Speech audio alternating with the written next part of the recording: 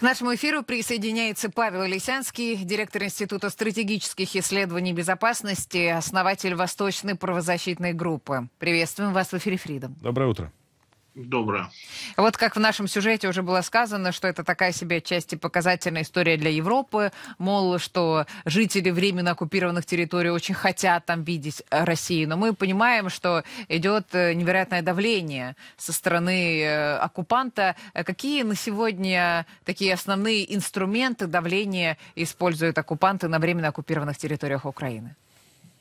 Ну, самое главное, наверное, это то, что они с фактически с вооруженными людьми приходят, э, проводят поквартирный обход э, э, жилых помещений и, соответственно, то есть тот, кто не хочет голосовать, его просто задерживают для того, чтобы он в отделении полиции написал оккупационной полиции написал объяснительную, почему он отказывается принимать участие в этих псевдовыборах. Э, этот сценарий они отрепетировали еще на псевдовыборах в сентябре 2023 года. Вот, э, когда проводили там э, псевдовыборы оккупационных советов. Ну, тут все очень просто, да, то есть как бы они сделали досрочное голосование не неделю, как было в сентябре 2023 года, а э, три недели. То есть фактически на протяжении там, 20 дней э, они с будут э, приходить, они с вооруженными людьми будут приходить к людям с оружием, да, то есть как бы членов комиссии охраняют члены оккупационных полиций и, соответственно, люди видят их, боятся, да, и э, начинают принимать участие. То есть, ну, фактически это запугивание, да, это самый прямой инструмент, который они э, ну, которые они осуществляют через него давление. И смотрите, это все на протяжении 20 дней. То есть фактически вот, э, если бы э, эти псевдовыборы длились один день, то мы понимаем, что на них там бы попросту никто бы не пришел. А так да, то есть как бы они фактически берут определенный период, а, вооруженные люди ходят с этими членами комиссиями оккупационных э, избирательных э, комитетов э, людьми и, соответственно, то есть как бы попросту принуждают людей к псевдоголосованию, просто к участию в этом вот фарсе. Ну, то есть как бы просто необходимо понимать, что это, ну, как бы за гранью, это не какие, не выборы, да, то есть как бы это просто вот такое, а, такой э, глобальный процесс принуждения участия людей в этом бюрократическом процессе, который можно называть псевдовыборы диктатора Путина. Скажите, вот то, что этот процесс уже сейчас происходит, ну, по сути, это фиктивное голосование, а зачем так рано эту всю историю начинать? Ну, можно было бы же картинку 15-17 показать. Все скопом, хором идут поддерживать прекрасного и Солнцеликова. Так не могут просто. Ну. А как же Ну, вроде ну, все в руках. Вся сила власти в одних руках. Назначенцев, гауляйтеров и военных с оружием. Нет, так 15-17, ну, за три дня они не могут даже за три дня э, создать полноценную картинку. Они попросту не могут это сделать. Потому что ну, люди отказываются. Даже вот они их принуждают. Люди, ну, что они будут показывать? Как люди там спорят и говорят, да нет, я не хочу, чего вы ко мне пришли. Да, то есть как бы такого очень много. А я ж повторяю, в э, сентябре 2023 года, когда они проводили похожий фарс, но они его проводили 11 дней. То есть там голосование шло 11 дней, а не 3 недели, как здесь. Да, то есть как бы они тогда не успели и решили как бы исправить ошибки и увеличили количество дней этого псевдоголосования до там, более 20. И, соответственно, вот таким вот образом они, э, им необходимо перед Кремлем отчитаться, что э, там количество определенных людей приняло участие. То есть они хотят, чтобы за Путина э, проголосовало, если так можно назвать, более 80%, значит, посчитайте, сколько реально должна быть составить явка. Да? Понятно, что эту явку они там рисуют, но для того, чтобы ее обосновать, им необходимо показать количество людей, которое реально пришло. Это, это реальное количество, что вот пришло, они не могут показать по двум причинам. Первое, это то, что э, фактически люди э, отказываются голосовать. Я напомню, что они даже разрешили принимать участие в голосовании по украинским паспортам потому что, да, то есть как бы люди, э, во-первых, не хотят оформлять российский паспорт на оккупированной территории, да, а во-вторых, то есть как бы, ну, они понимают, что если люди с украинскими паспортами не будут голосовать э, на оккупированных территориях, принимать участие, да, то фактически они не достигнут своей цели по количеству людей. И сам, самый основной момент – это отток людей из временно оккупированных территорий. То есть это естественное уменьшение количества населения. И каждый месяц на оккупированной территории количество населения уменьшается на 30-50 тысяч э, человек. Да, то есть как бы это, кстати, э, данные самих э, ну, эти данные приводят, скажем так, те люди, которые работают там или в оккупационной миграционной службе, да, которые на связи есть с правозащитниками, которые вот говорят о том, что такое отток. На смену этим людям приезжают это, как правило, а, чиновничий аппарат, да, чиновники, пособники оккупанта семьями да, на территории Российской Федерации. Но этого количества людей все равно не хватает. Поэтому э, для обслуживания территории. Поэтому там сейчас коллапс миграционный на оккупированной территории с людьми. И, соответственно, вот эти все проблемы не позволяют им даже в три дня эффективно провести просто хотя бы собрать людей и записать их для картинки. Поэтому три недели. Российские оккупанты разработали даже план в такой явки на псевдовыборы, которые должны выполнить э, руководители госучреждений на временно оккупированных территориях Украины. Об этом сообщает Центр национального сопротивления Украины.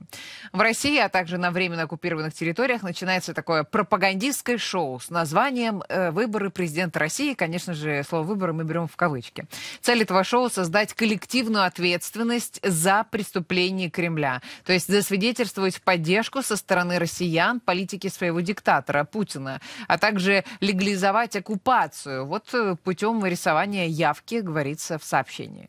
Коллаборанты получили задание обеспечить норму явки на определенный участок от каждого предприятия или учреждения. В то же время руководители предупредили, что благодаря видеонаблюдениям системы распознавания лиц на участках будет известно, а был ли выполнен план, и пригрозили последствиями в случае его невыполнения, добавляет в Центре национального сопротивления.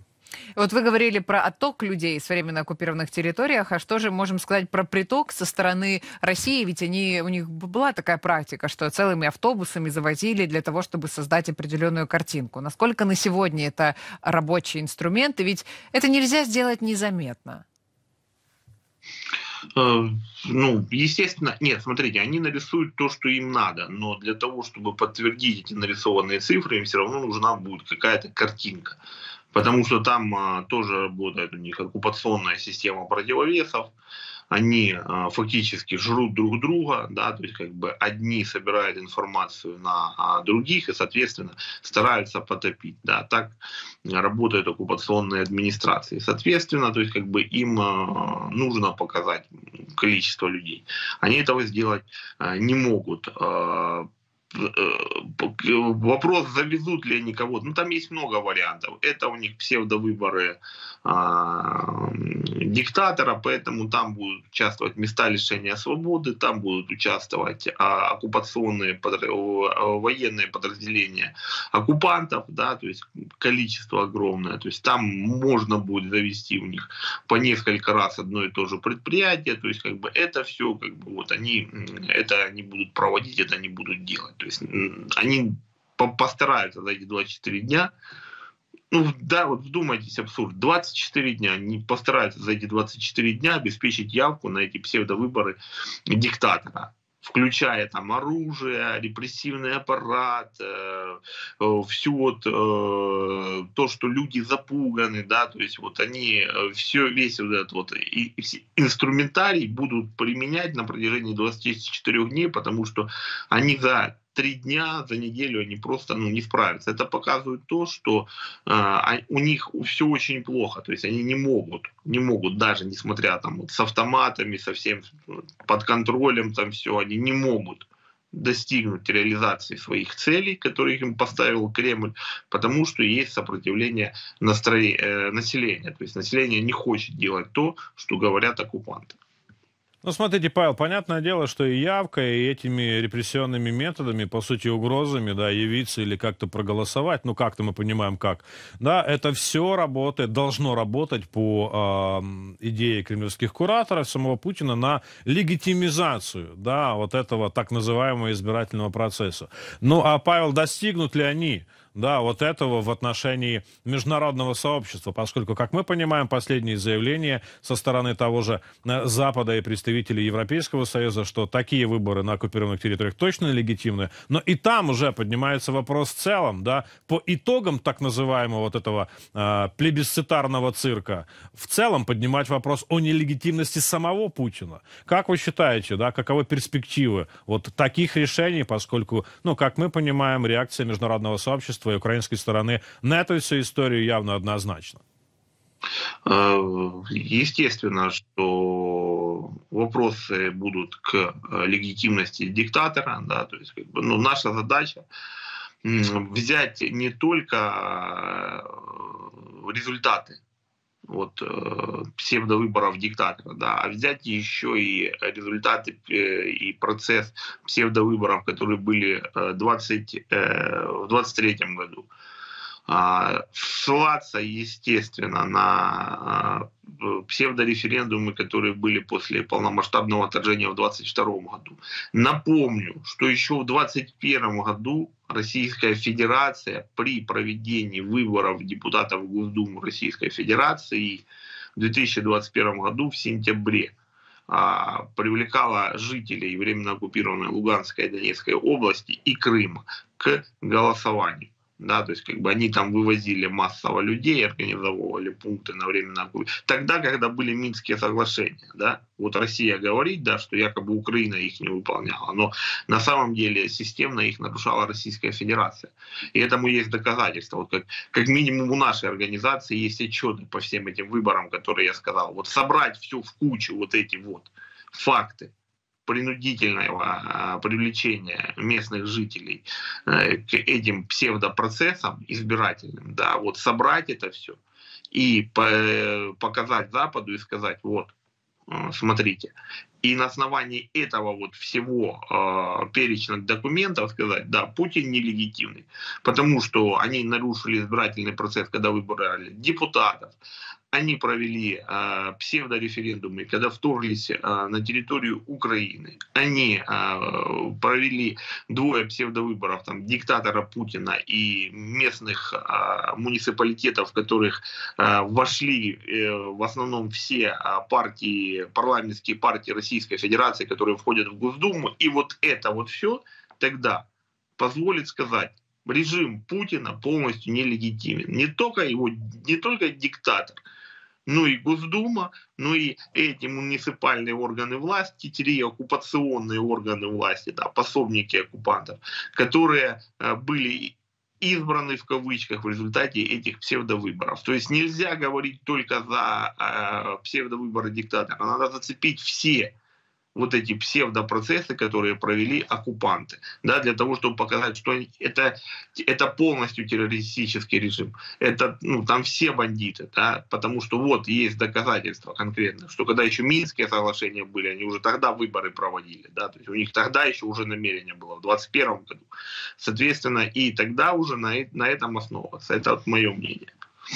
Также российские оккупанты во время псевдовыборов усиливают фильтрацию, завозят силовиков на временно оккупированные территории Украины. Частично уже затронули с вами тему методов российских оккупантов. Также добавлю, что отправили уже более 10 тысяч росгвардейцев. Об этом сообщил глава Запорожской областной военной администрации Иван Федоров. Так вот, по его информации, в Мелитопольском районе россияне совершают облавы э, под предлогом поиска наркотиков. На самом же деле оккупанты проводят незаконные обыски и проверяют документы, также завозят так называемых э, волонтеров, привлекают к контролю предателей и коллаборантов. И в завершении этой темы мы э, так или иначе обсуждаем каждый раз, э, затрагивая под подобные темы, все-таки хоть какие-то инструкции, как действовать людям, которые живут на временно оккупированных территориях. С одной стороны, мы понимаем, что ну, нужно выходить из дому, там, не знаю, за продуктами элементарно, но с другой стороны, э, ведь должны быть какие-то меры безопасности. Насколько это реально? Себя э, обезопасить и какие сейчас есть инструменты, ну, возможно, советы для жителей временно оккупированных территорий? Ну, это, естественно, информационная гигиена. Если вы смотрите про украинские ресурсы, вы всегда должны чистить историю поиска, пользоваться VPN, а также обращайте внимание на провокации. А, как правило, сейчас как действуют эти оккупанты, росгвардейцы. Необходимо понимать, что Росгвардия, она выполняет функцию политической полиции оккупанта на, захваченных территориях. Да? То есть как бы вот они подсылают провокаторов, да, то есть, как бы ты можешь идти в магазин, тебе могут под, э, подвести провокатора, и там он тебе может сказать, ну, там, спровоцировать, чтобы ты что-то э, высказал негативное в отношении Российской Федерации. А это сделать нетрудно, да, в отношении того, что творит диктаторский режим Кремля э, на оккупированных территориях. И ему даже не обязательно просто снимать вас на камеру. Вы сказали, он пошел на вас, написал донос, и на основании этого доноса к вам пришли. Поэтому обращайте внимание на свой круг, с кем вы общаетесь, э, почему к вам подошли, почему у вас это э, спрашивают, да, обязательно информационная гигиена и все. Ну и необходимо понимать, что даже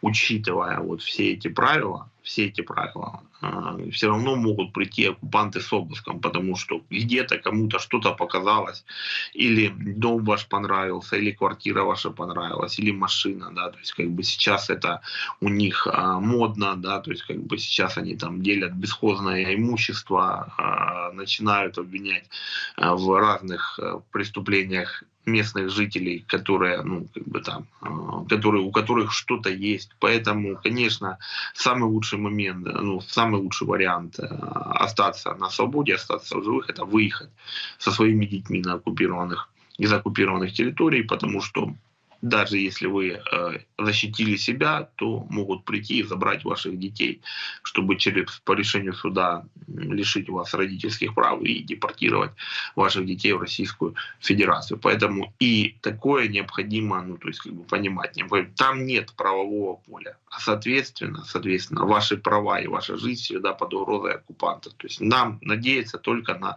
э, главнокомандующего и Збройные силы Украины. Да, действительно.